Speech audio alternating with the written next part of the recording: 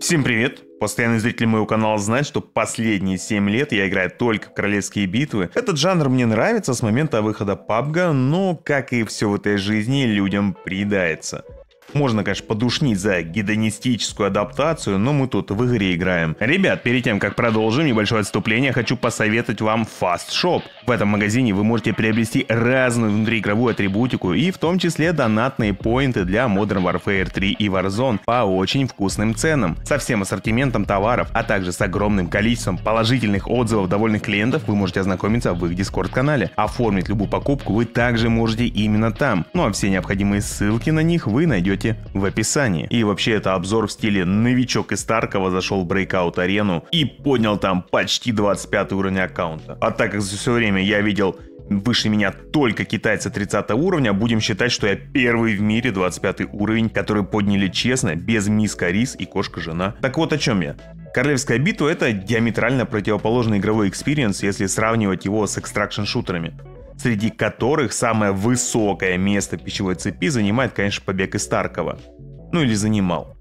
Были, конечно, всратые поделки типа Hazard Zone Battlefield 2042, которые вообще не поняли, в чем смысл режима. Был DMZ Warzone 2, который настолько упростил геймплей, что он лишился главной своей механики, а именно внутриигровой экономики. Тарков был и будет. Но, судя по всему, ему придется подвинуться – ведь вслед за Breakout ареной, которую кличут именно казуальным Тарковым, виднеется еще и Delta Force, которая является еще более казуальной версией Таркова. И для сравнения, разница между Тарковым и Ареной, ну, для меня, новичка, который купил издание за 5к, поиграл от силы часов 10, это А. Удобная карта, удобная система квестов, быстрый подбор матча, ходкей медицины, которая пусть пусть не совсем корректно, но работает. Так вот, а в Delta Force на все вышеперечисленное добавят хит-маркеры попаданий, killfeed, которого сейчас нет, и ты можешь только гадать, убил ты врага или нет, система воскрешений тиммейтов и состояния нока и реса, Потом упразднили механику магазинов для оружия. Если в Таркове арене ты должен, как в жизни, там заглянуть в магазин, примерно сказать, сколько там осталось патронов, потом все это дозарядить.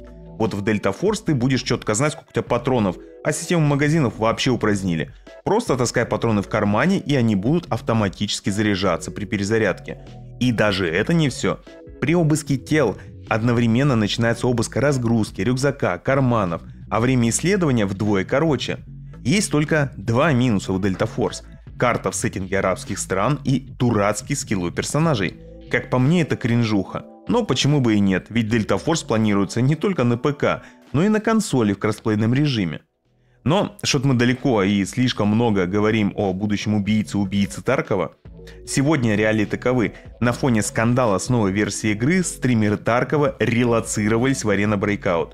И с кайфом, судя по всему, проводят время. Если честно, их мнение наиболее ярко отражает тот факт, что игра сделана достойно и стоит каждой копейки своей цены.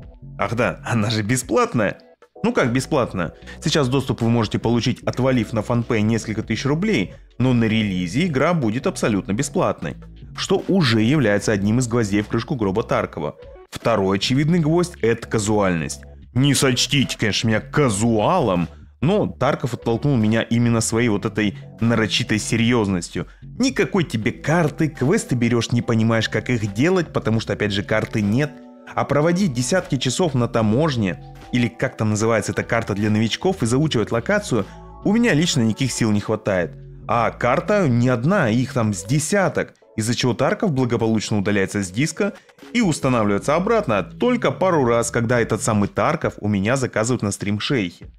Так вот, варенье, ничего подобного нет. Все с точностью, да наоборот – нас приветствует карта на привычную буковку М. На карте есть метки, у ваших тиммейтов есть метки, ваши тиммейты могут показывать, куда хотят идти. На карте отмечены точки квестов и прочие удобства. Мне это напоминает ситуацию с Морвиндом и Обливионом. Ценители блуждать по локациям в поисках квест-гивера или задания говнились на тест-4, мол, казуально. Но, по моему мнению, Сегодня при таком обилии игр-сервисов разработчик не должен бросать меня в голом поле с палкой и мыслью, что мне тут делать. Важен баланс, и в арене этот баланс соблюли. Геймплейно арена никак не отличается от Таркова. Стрельба идентична, механика хила идентична, менеджмент ресурсов идентичен. Эти игры настолько идентичны, что у них есть одинаковые куски кода. Ну, это по словам датамайнеров. Однако все не так просто, ведь Escape from Tarkov работает на движке Unity и написан на языке программирования C-Sharp. Arena Breakout Infinite работает на движке Unreal Engine и написана на языке программирования C++. Хочу отметить, как разработчик на Unreal Engine, что движок не поддерживает C-Sharp, как Unity не поддерживает C++. На самом деле я просто скопировал это с новости. Но слушайте дальше. Выше я писал о том, что обе игры написаны на совершенно разных движках, которые никак не поддерживают совместные языки программирования – Unreal Engine не равен C-Sharp, Unity не равен C++. Это как русский и английский. Да, похожи некоторые слова, похожи символы, но применение и синтаксис у них совсем разный, из-за чего просто взять код на C-Sharp и перенести его на C++ у вас не получится. Весь этот код придется переписывать абсолютно с нуля. Это то же самое, как взять английский текст и перевести его на русский, вообще не используя правила из-за чего возникает ощущение, что это происки Никиты Буянова, который таким образом пытается повлиять на хайп вокруг игры конкурента. Но мы продолжаем про игру. На карте и квестах удобство не заканчивается. В игре удобный и работающий магазин внутриигровых вещей за внутриигровую валюту. Точно так же удобно собирать пушки.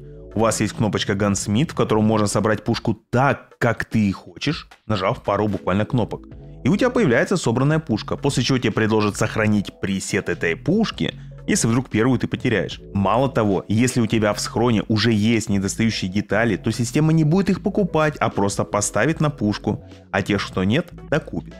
После того, как вы собираете ствол, вы легко можете опробовать его в тире, где можно включить бесконечные патроны, и потренироваться стрелять с нее. Насколько я знаю, тир есть и в Таркове, но там надо строить. Люди, которые обычно меня смотрят, скажут, что в сравнении с Warzone игра крайне медленная и скучная. Ну, во-первых, я уже старый, мне 33 года через 3 дня. А во-вторых, не скучная, а своеобразная. Некорректно сравнивать аркадный шутан с экстракшн-шутером. Да, и там, и там надо стрелять. Но, как говорится, есть нюанс. Я вижу в побеге из арены геймплей, который настолько отличается от того, чем я занимаюсь последние 7 лет, что мне становится интересно играть. А я, как вам скажут завсегдаты из стримов, уже давно играю через силу.